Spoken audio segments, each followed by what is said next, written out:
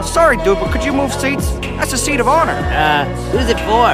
Oh, it's for my dad, actually. I haven't seen him in like eight years, but he's coming today.